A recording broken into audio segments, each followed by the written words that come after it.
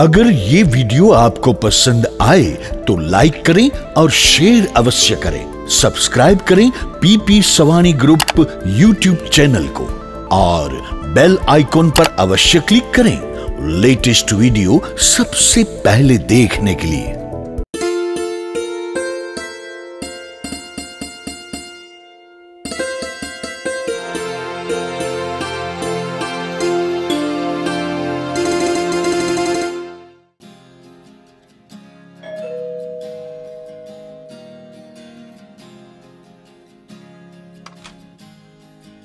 જય શ્રી કૃષ્ણ જય શ્રી કૃષ્ણ.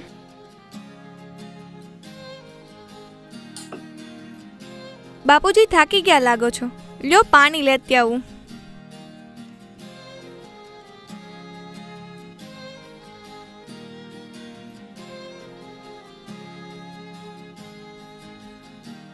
દીકરીનો બાપ હોય અને ઘરે દીકરીના લગ્ન હોય તો થાક તો લાગે ને બેટા?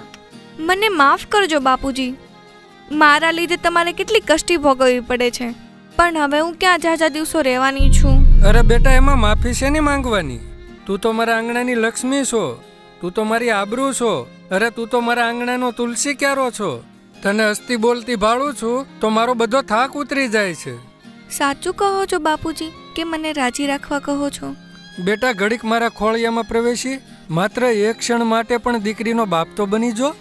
તને પણ ખ્યાલ આવે? કે કેટલી આંસુઓની સરિતાઓ એક બાપના કાળજામાં વહેતી હોય છે? મને ગર્વ એ વાતનો છે કે તે હંમેશા અમારી આબરૂઓની રક્ષા કરી છે. આજ યુવાનીના આવેગમાં ઘણી નાદાન દીકરીઓ ઘર છોડીને ભાગી જાય છે. ત્યારે લોઢામાં લીટા તાણતો અને મૂછે તાવ દેતો બાપ જીવતી લાશ બની જાય છે. બેટા, આવા હળહળતા કડીકાળમાં તે અમને મરતા પહેલા મારવાનું પાપ નથી કર્યું, પણ સાક્ષાત જાનકીના પિતા જનક બનાવવાનું તે પુણ્યનું ભાથું બાંધ્યું છે. અને આભા તો અમારી ગઢપણની લાકડીનો સહારો બનીને રહેશે. રાધા પૂજા થાળી લઈ આવજે.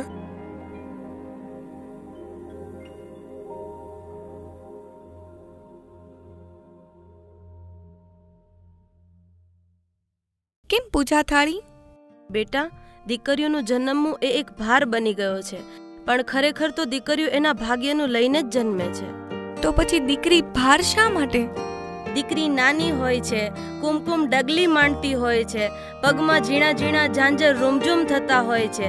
ત્યાં સુધી દીકરી આંગણાની ઢીંગલી હોય એવું લાગે છે. પણ પણ શું? દીકરી યુવાનીમાં પગ મૂકે એટલે દરેક માવતરને સલામતીનો ભાર સતાવે છે. ખરેખર દીકરી ભાર નથી પણ દીકરીની સલામતીનો પ્રશ્ન ભારરૂપ બની ગયો છે. તો આનો શું રસ્તો? દીકરીઓ પ્રત્યે દુનિયામાં લાગણી કઈ રીતે જન્મશે? દરેક ઘરે મારી દીકરી ભૂમિ જેવી દીકરીનો જન્મ થાય. મતલબ? યુવાન દીકરીની સલામતી એના પોતાના સંસ્કાર હોય છે.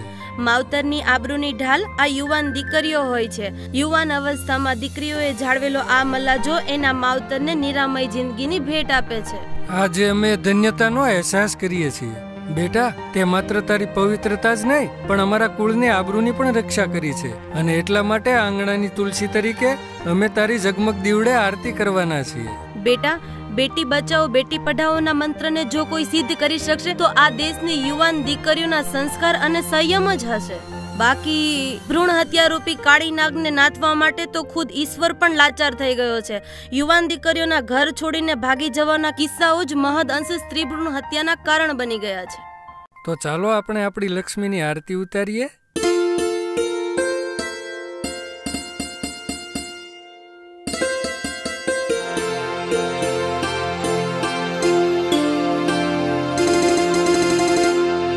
आरती करु गृहलक्ष्मीनि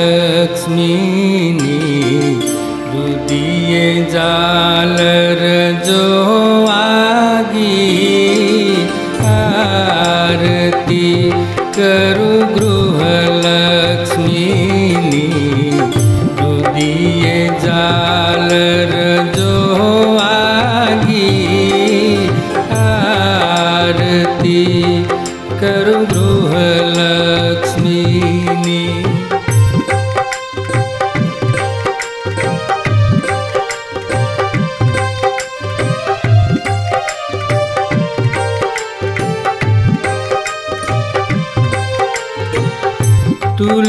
ક્યારો અમ આંગણનો તુલસી ક્યારો અમ આંગણનો ધૂપ સળી ઘર મંદિરની આરતી કરું ગૃહલક્ષ્મીની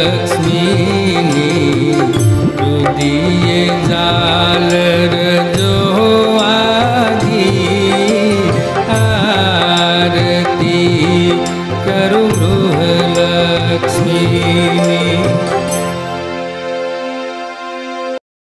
તમને કહું છું તમે મહેશભાઈ સાથે વાત કરી? હા ત્રેવીસ ડિસેમ્બરે તો મારી લાડકી સાસરે સીધાવી જશે. કોણ મહેશભાઈ? અને શું વાત?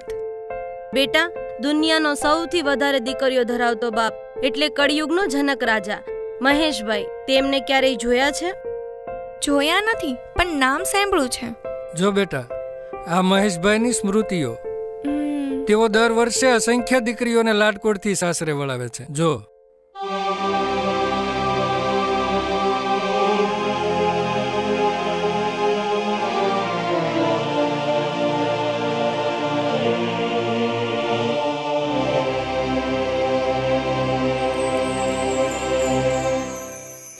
હે આમલો હેરો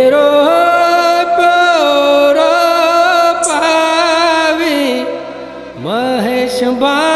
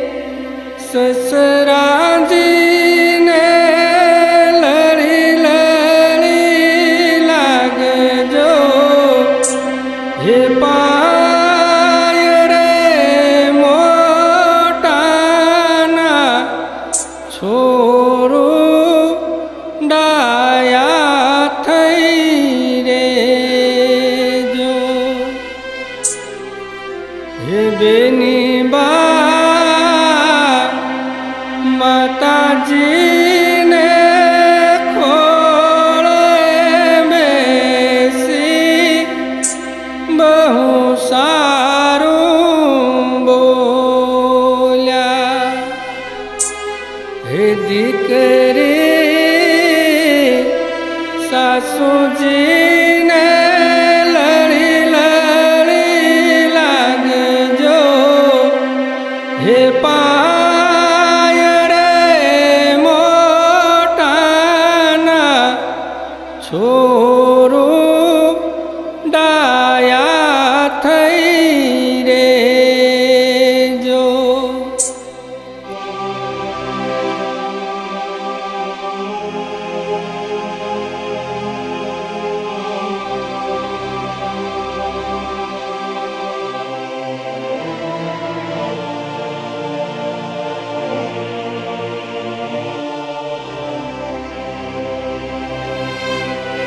હે બેની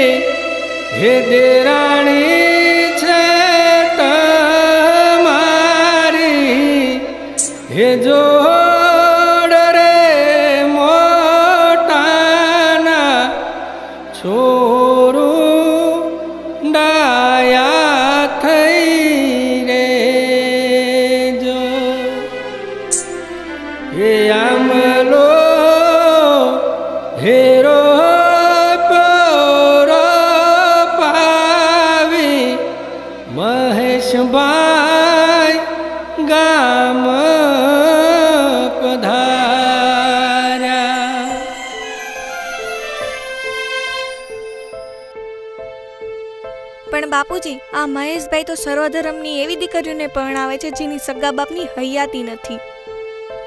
જ્યારે મને તો તમારા જેવા પિતાની હયાતીનું સુખ મળ્યું છે તો પછી મહેશભાઈ મારું કન્યાદાન કઈ રીતે કરશે? સત્ય હકીકત શું છે? તમારી દીકરીથી પણ છુપાવશો બેટા અમે સંતાન સુખથી વંચિત હતા. ઘણી માનતાઓ રાખી ઘણા દવાખાનાઓ ફર્યા પણ અમને સફળતા ના મળી. એક દિવસ એક પ્રસંગે મહેશભાઈના આંગણે ઉજવાઈ રહેલી એક હરખની હેલીમાં અમે જઈ ચડ્યા. યુવા અવસ્થામાં ભાન ભૂલેલી કોઈક અજાણી કુંવારિકાએ માસૂમ દીકરીને જન્મ આપીને કચરા પેટી પાસે નિરાધાર હાલતમાં મૂકી દીધી. ત્યાંથી ઉઠાવીને મહેશભાઈએ એને ગોદ લીધી અને પોતાના આંગણે એની પધરામણી કરાવી. ત્યાં હાજર સૌ કોઈને આ સત્ય હકીકત જાણવા મળી. અમે પણ ત્યાં હાજર હતા. અમે સંતાન સુખથી વંચિત હતા. એટલે તારી માં રાધાએ મહેશભાઈ સામે ખોળો પાથરીને એ દીકરીની ભેટ માગી અને ઈશ્વર કૃપાથી અને મહેશભાઈએ એ દીકરી અમને ગોદ આપી. અને એ દીકરી બીજી કોઈ નહીં બેટા તું અમારી ભૂમિ. બાપુજી આ તમે શું બોલો છો? હા બેટા આ સત્ય છે. અમે તો માત્ર ખાલી તારો ઉછેર કર્યો છે. આજ સુધી શાળા કોલેજમાં તું ભણી તેના ખર્ચાની જવાબદારી મહેશભાઈએ ઉપાડી હતી. બા બાપુજી મને એક વચન આપશો? બોલ બેટા. આજ પછી આ સત્ય હકીકત કોઈને પણ ના કહેશો. મારા માવતર મારા ઈશ્વર બધું તમે જ છો. જન્મ દેનાર કરતાં પણ મહાન તમે છો કે તમે મારું પાલન કર્યું.